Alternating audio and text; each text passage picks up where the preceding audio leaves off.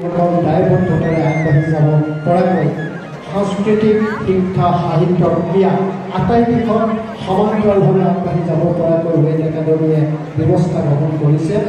বহু ব্যক্তিগত খণ্ডৰ বিদ্যালয় প্ৰতিষ্ঠা হৈছে।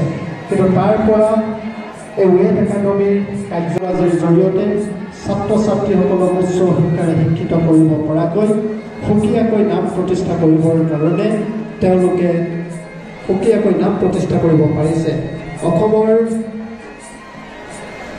সমগ্ৰ অসমত ৱেব একাডেমী এই ছিনিয়ৰ ছেকেণ্ডেৰী স্কুলখন আটাইৰে চিনাকি হৈ পৰিছে কৰ্মৰ জৰিয়তে প্ৰজন্মৰ ছাত্ৰ ছাত্ৰীসকলক শিক্ষাৰ দিশত আগবাঢ়ি যাবৰ পৰাকৈ ন ন চিন্তাৰে ন ন কৰ্মৰে তেওঁলোকে আগবাঢ়ি যাব বুলি আমি আশাবাদী আৰু আমি তেখেতলোকৰ লগত ছাত্ৰ সন্থাৰ পৰিয়াল আছোঁ বুলেন বৈলং ডাঙৰীয়াৰ যথেষ্টখিনি পৰিকল্পনা আছে।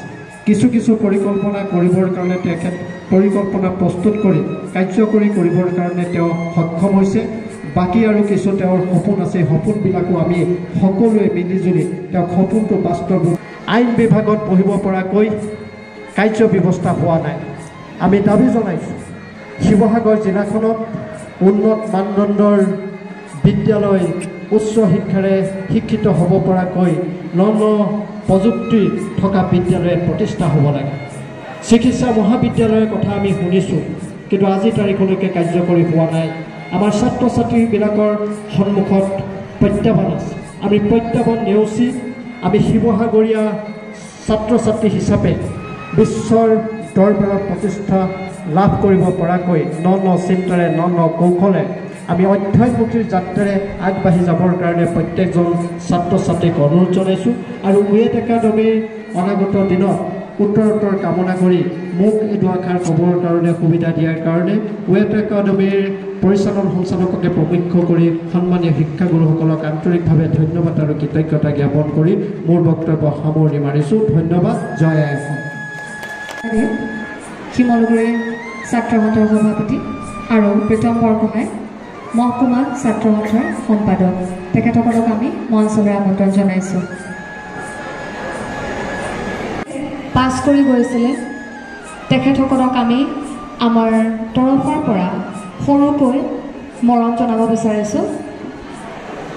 পোনপ্ৰথমে আমি স্বৰ্গীয় হৰিষ্টেন বৰুৱাৰ সহধৰ্মিনী তথা আইতাক আমি আমন্ত্ৰণ জনাইছোঁ।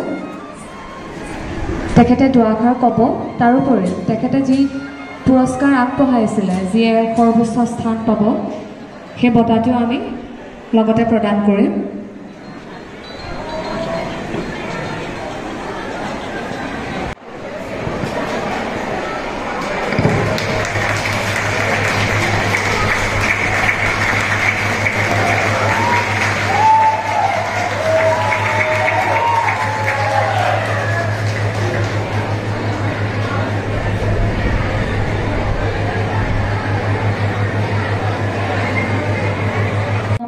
বিজ্ঞান শাখা উচ্চতৰ মাধ্যমিক চূড়ান্ত পৰীক্ষা দুহেজাৰ তেইছ।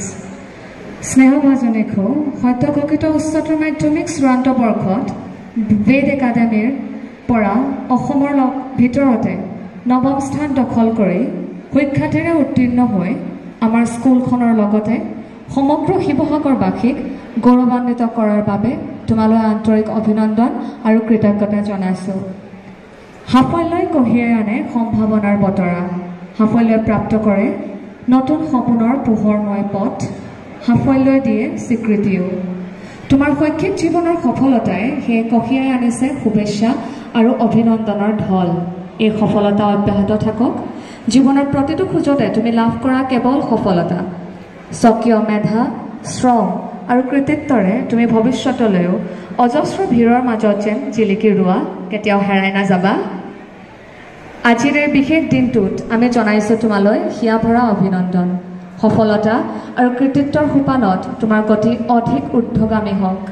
বাস্তৱ জীৱনৰ কুটিল গ্ৰাসত নপৰাকৈ একোজন প্ৰকৃত মানৱ মানুহ হোৱাৰ সাধনা কৰা যাতে তোমাৰ কৃতিত্ব আৰু সফলতাই দেশ জাতি আৰু মাটিৰ বাবেও দি যায় কিছু অৱদান। তোমাৰ সুউজ্জ্বল ভৱিষ্যত কামনাৰে বেদ পৰিয়ালৰ হৈ সন্মানীয় উপাধ্যক্ষ মহোদয় ডক্টৰ সুৰেন্দ্ৰনাথ দত্ত।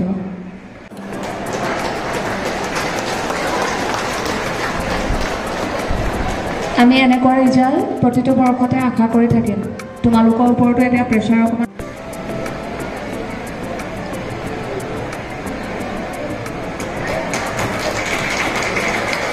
নিতুপৰ্ণ লাহন নিতুপৰ্ণ লাহন বিপিনজিৎ বৰুৱা।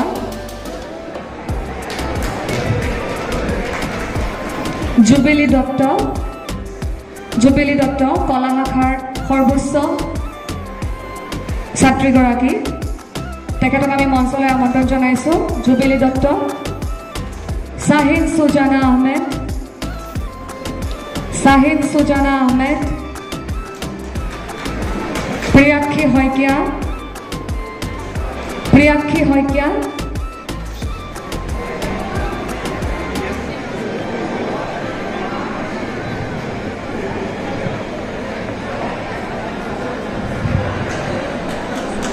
কাব্যশ্রী রাজখোয়া। করেশমা গগৈ। করেশমা গগৈ।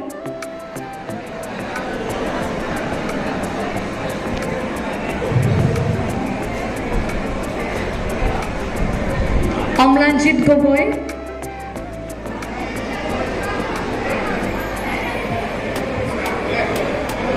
অম্লানজিৎ গগৈ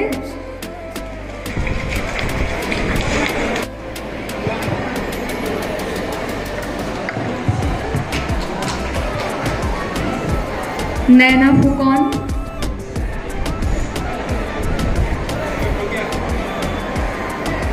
মৃগাক্ষী চেতিয়া তোমালোকে হাত চাপৰি বজালে ভালো পাম।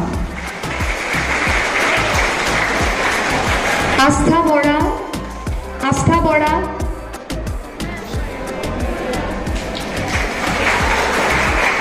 আস্থা বৰা আস্থা বৰা অনুপস্থিত।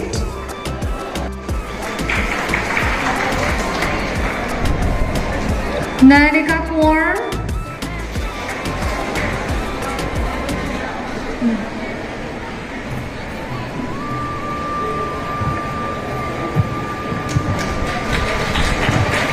মৌপ্ৰাণ চিত্ৰকৰ তেখেতৰ অভিভাৱক আছে নেকি বাৰু?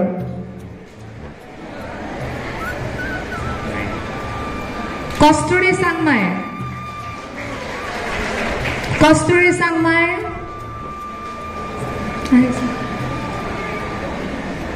আমি প্ৰিন্সিক মন- মঞ্চলৈ আমন্ত্ৰণ জনাইছো।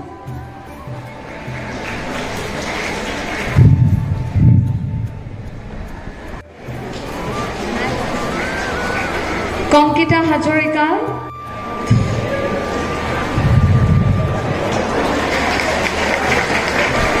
বনানী সোণোৱাল। অভিভাৱক আছে আমি আহক আপোনাক আমন্ত্ৰণ জনাইছোঁ। শ্যামল বৰগোহাঁই। শ্যামল বৰগোহাঁয়ে আমাৰ যি ছুপাৰ থাৰ্টি তাত তেওঁ চিলেকশ্যন পাইছে। তেওঁ আৰু লগতে মৌপ্ৰা চিত্ৰকৰ দুয়োজনে ছুপাৰ থাৰ্টিত চিলেকশ্যন পাই বৰ্তমান তেওঁলোক শিক্ষা গ্ৰহণৰ বাবে গ'ল। চামিন আলী।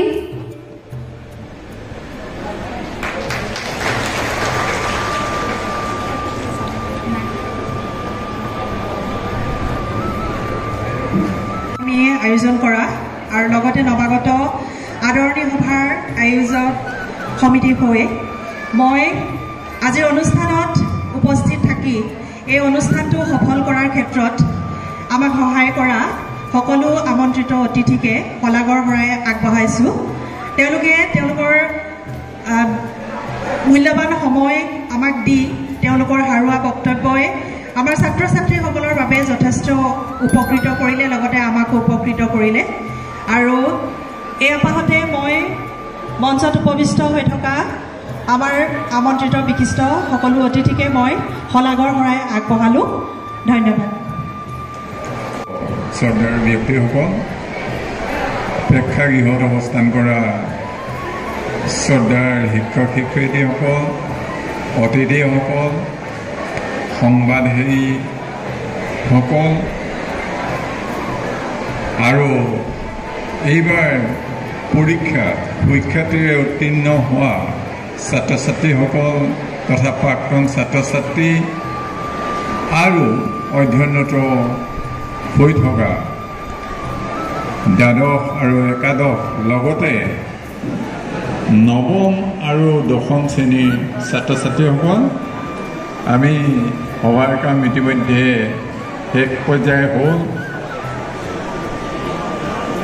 যিসকল সদাশয় আমন্ত্ৰিত মাননীয় ব্যক্তিয়ে শ্ৰদ্ধাৰ ব্যক্তিয়ে মঞ্চত অৱস্থান কৰি তথা তেখেতসকলৰ বহুমূলীয়া বক্তব্যৰ দ্বাৰা আমাক উপকৃত কৰাৰ কাৰণে তেখেতসকলৰ প্ৰতি আমি ধন্যবাদ জনাইছোঁ।